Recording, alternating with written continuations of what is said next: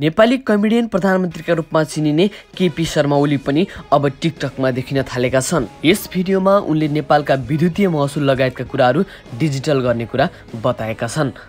विकास र समृद्धि नभए पनि उखान टुक्काले जनता हँसाउन लागि परेका प्रधानमन्त्री अब टिकटकबाट झन् कतिको हँसाउने हुन् भन्ने कुरामा सबैको चासो बढेको छ।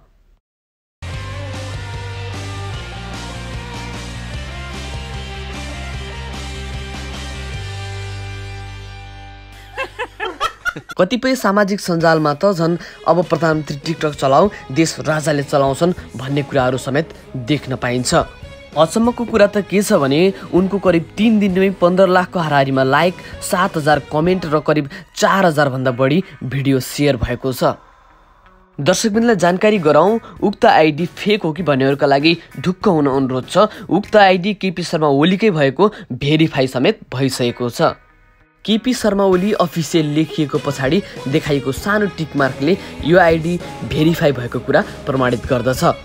चिनको विरुद्धमा रहेका देशहरू भारत अमेरिका लगायतले टिकटक बन्द गरिरहँदा नेपालका भने प्रधानमन्त्रीले टिकटक एकाउन्ट बनाउँदा चिनसँगको कुटनीतिक सम्बन्ध राम्रो भएको हुन सक्ने सबैले अन्दाज लगाएका छन्। नेकपाको विवाद चलिरहँदा प्रधानमन्त्री बाहेकका शीर्ष नेताहरूले पनि टिकटकमा एकाउन्ट बनाएको कुरा जानकारीमा आएको छ। नेकपाका अर्का अध्यक्ष पुष्पकमल दाहाल प्रचण्ड माधव कुमार नेपाल लगायतका नेताहरूले पनि टिकटक एकाउन्ट खोलेको यी कागजले लेखेको छ। र ताली कालीका लागि अब आजको विषय यस प्रकार रहेको छ।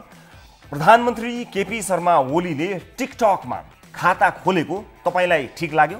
प्रधानमन्त्री ओलीले टिकटकमा खाता खोलेको तपाईँलाई ठिक लाग्यो? ठिक लाग्नेले तालीमा र ठिक नलाग्नेले गालीमा। दर्शकबिन तपाईँलाई कस्तो लाग्यो? जस्तो लाग्यो त्यस्तै कमेन्ट गर्न नबिर्सिनुहोला।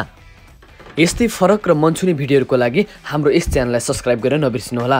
हाम्रो च्यानलमा नयाँ हुनुहुन्छ भने सब्सक्राइब गरी बेल आइकन थिच्न नबिर्सिनुहोला। अर्को भिडियोमा फेरि आउनेछौँ। नमस्कार।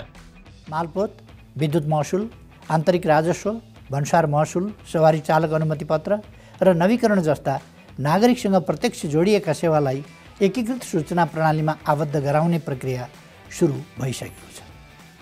सरकारले राष्ट्रिय परिचय पत्रलाई सेवा प्रवाहको मुख्य आधार बनाउने गरी काम समेत अगाडि बढाएको छ।